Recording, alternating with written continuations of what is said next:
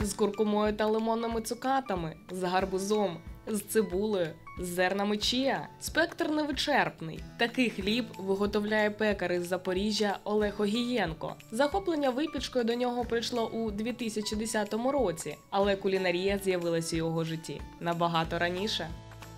Працював кухарем, шеф-кухарем, займався і молекулярною кулінарією, і барним ділом для душі, і кондитеркою, але з часом виявилось, що хліб це те, що затягує.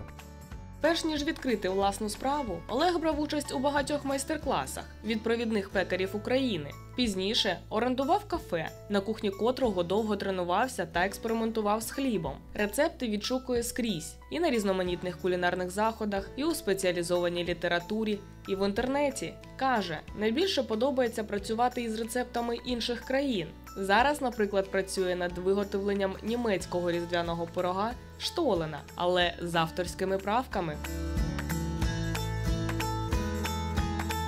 Відрізняється мука, це вже не той смак, який повинен бути. Але ми міксуємо купаж цукатів, сухофруктів, е, даємо різний час витримки.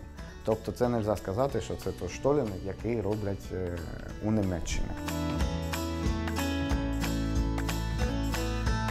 Зараз більшу частину своєї продукції Олег реалізує у заклади харчування. Пекарня також має постійних покупців. Мешканці міста регулярно приїжджають сюди за смачним та оригінальним крафтовим хлібом. Пекар стверджує, особливість його виробів в тому, що вони робляться виключно на живій заквасці. А ще в кожну хлібину вкладено частинку душі.